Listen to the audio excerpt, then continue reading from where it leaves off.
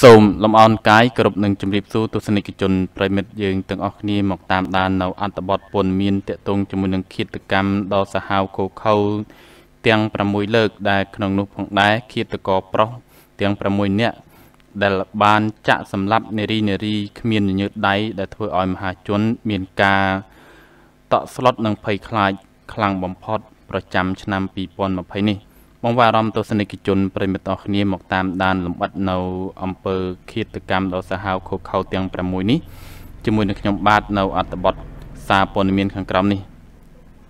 ឃាតកម្មសម្រាប់មនុស្សបានកើតឡើងជាបន្តបន្ទាប់គ្នា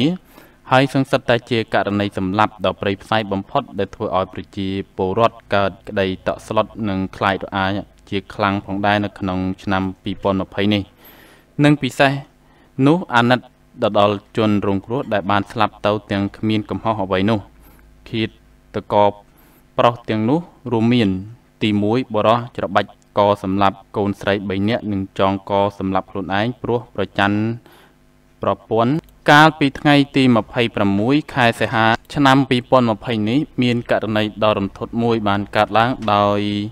មួយគ្រួសារត្រូវបានស្លាប់ទាំងអស់នៅសល់តែប្រពន្ធដែលរវល់ទៅធ្វើការ មិនបាននៅក្នុងហេតុការណ៍នោះឃាតករសម្លាប់កូនស្រីទាំង3នាក់នោះដោយការច្របាច់កចំណែកឪពុកបានចងកសម្លាប់ខ្លួនឯងស្ត្រីឈ្មោះឌីមសុកនៀតជាប្រពន្ធរន្ធត់ចិត្តពេកក្រោយឃើញកូនកូនបណ្ដូលចិត្តនឹងប្តីស្លាប់ស្រស់ស្រស់នៅនឹងមុខបែបនេះ រហូតដល់បាត់បង់វងវែងវង្វន់ស្មារតី ឃាតកម្មនេះគេសន្និដ្ឋានបណ្ដាលមកពីភ្លើងប្រច័ណ្ឌទៅធ្វើឲ្យឃាតករហ៊ានលើកដៃសម្លាប់កូនខ្លួនឯងគ្មានមេត្តាបែបនេះ ទី2ករណីសម្លាប់នារីម្នាក់ព្រោះតែខឹងចូលស្ដីដណ្ដឹងនាងមិនបានឃាតកម្មចាក់សម្លាប់នារីវ័យក្មេងនៅព្រឹកថ្ងៃទី28ខែសីហាឆ្នាំ2020បង្កដោយបរោះ ជនដៃដល់ដែលធ្លាប់ជាគូស្នេហ៍នឹងគ្នាបានធ្វើឲ្យសាច់ញាតិមហាជនមានការតក់ស្លុតជាខ្លាំងផងដែរអ្វីកាន់តែគួរឲ្យភ្ញាក់ផ្អើលនោះ ក្រោយសម្លាប់នារីជាសង្សាររួចបរោះរូបនេះបានរត់ទៅចងកសម្លាប់ខ្លួនតាមក្រោយនៅក្នុងបរិវេណវត្តស្ងួនពេជ្រសង្កាត់កម្ពូលខណ្ឌកម្ពូលនាវេលាម៉ោងប្រមាណជា10:30នាទី នៅថ្ងៃទី28ខែសីហាឆ្នាំ2020ដដែលករណីឃាតកម្មចាក់សម្លាប់នារីអតីតគូស្នេហ៍រួចហើយរត់ទៅចងកសម្លាប់ខ្លួនតាមក្រោយនោះ បើតាម ប្រភពពីបងប្អូន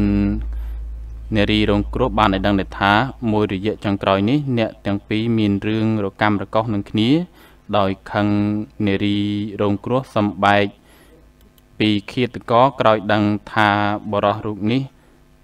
ក្បត់មានស្រីផ្សេង នៅយប់មុនថ្ងៃកាត់ហេតុភិក្ខីខាងបរោះបានខលទូរស័ព្ទសុំត្រូវរៅគ្នាវិញនិងសុំចូលស្ដីដណ្ដឹងរៀបការតែខាងស្រីបានប្រកែកទៅនាំឲ្យឈានដល់មានគំនុំគុំគួនដល់ថ្នាក់ទៅដល់ផ្ដាច់ជីវិតនារីជាអតីតគូស្នេហ៍ហើយបញ្ចប់ជីវិតខ្លួនឯងបែបនេះ ទី3បរោះម្នាក់សម្លាប់ម្ដាយបង្កើតខ្លួនឯងដោយកាត់កចេញពីដងខ្លួន នៅព្រឹកថ្ងៃទី29ខែសីហាឆ្នាំ2020មានករណីឃាតកម្មដ៏សាហាវមួយបានកើតឡើងគឺកូនប្រុសបង្កើតហ៊ានលើកដៃសម្លាប់ម្ដាយខ្លួនឯងដោយកាត់ក្បាលចេញពីដងខ្លួននាវេលាម៉ោង7:30នាទីព្រឹកស្ថិតនៅក្នុងសង្កាត់ចោមចៅទី2ខណ្ឌពោធិ៍សែនជ័យរាជធានីភ្នំពេញឃាតកម្មដ៏ព្រៃផ្សៃនេះគឺដោយសារជនដៃដល់មានជំងឺប្រស័យប្រសាទហើយនៅថ្ងៃកើតហេតុនោះ មានជំងឺប្រស័យប្រាសាទនេះរើឡើងវិញចំពោះបរោះជាឃាតករធ្វើទុករោគរឿងហើយ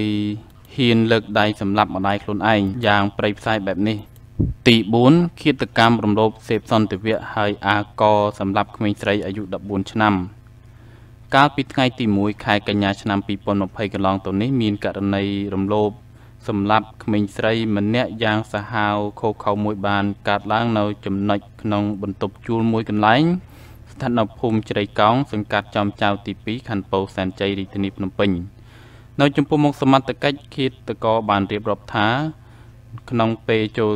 ធ្វើសកម្មភាពដោយសារតែក្មេងស្រីរងគ្រោះស្រែកនិងរើបំរាស់ពេកទៅខ្លួនបានវាយដំទៅលើក្មេងស្រីរងគ្រោះនិង យកឧបករណ៍ឆក់ត្រង់ចំណុចខ្នងក្មេងស្រីរងគ្រោះក្រោយឆក់រួចទៅយកកំបិតដែលនៅក្នុងផ្ទះក្មេងស្រីរងគ្រោះស្រាប់នោះទៅចាក់ចំកចំនួន2កំបិតទៅអាក៏សម្លាប់បន្ថែមហើយក៏ចាប់ផ្ដើមធ្វើសកម្មភាព ចាប់រំលោភតាមក្រោយ ទី5ឃាតកម្មសម្លាប់ សង្សាររួចអាកខ្លួនឯងនៅបរិយលឹមឈៀងហាក់កាន់តែគួរឲ្យរន្ធត់ចិត្តមួយទៀតនោះគឺនៅប្រលប់ថ្ងៃទី3ខែកញ្ញាឆ្នាំ2020បរមម្នាក់បានចាក់សម្លាប់សង្សារខ្លួនឯងនៅក្នុងបុរីលឹមជាងហាក់បង្កមានការភ្ញាក់ផ្អើលជាខ្លាំងតាមការធ្វើកសលវិច័យជនរងគ្រោះបានរកឃើញស្លាកស្នាមចំនួន3កន្លែង ទី1ស្នាមដាច់ឆោត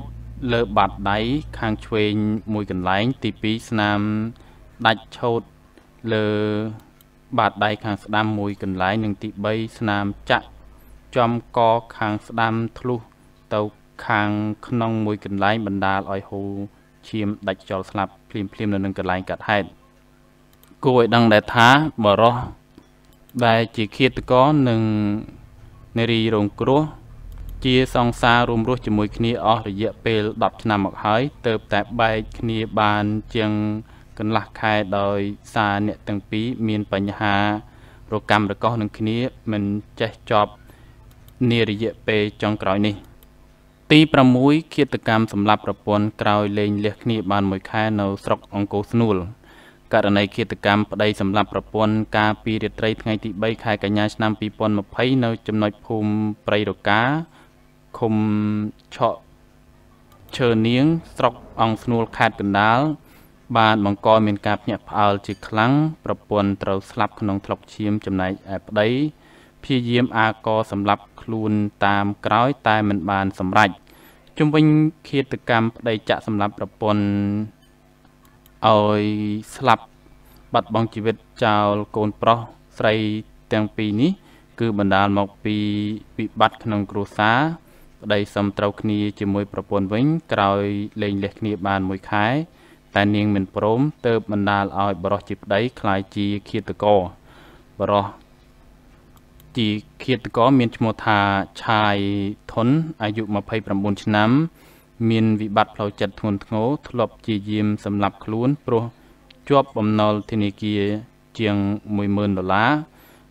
រីឯនៅក្នុងគ្រួសារក៏ចេះតែជួបរឿងរកម្មរកោសមិនចេះចប់មិនចេះហើយគួរឲ្យដឹងផងដែរថា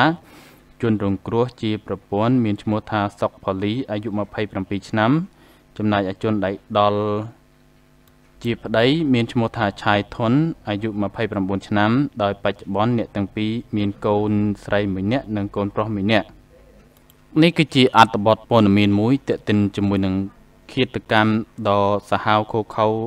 ដែលធ្វើឲ្យមហាជនមានការតក់ស្លុតយ៉ាងខ្លាំងប្រចាំឆ្នាំ2020នេះដែលឃាតកម្មទាំង6លើកនេះ បានធ្វើឲ្យមហាជនមានការខ្លាចរអាពីព្រឹត្តិការណ៍ដ៏ខុសខើនេះផងដែរអរគុណចំពោះការតាមដាននៅអត្ថបទព័ត៌មានខាងលើនេះគណៈពេលនេះខ្ញុំបាទសូមអរគុណនិងសូមជម្រាបលានិងវិលជួបប្រិយមិត្តទាំងអស់គ្នានៅឱកាសក្រោយៗជាបន្តទៀត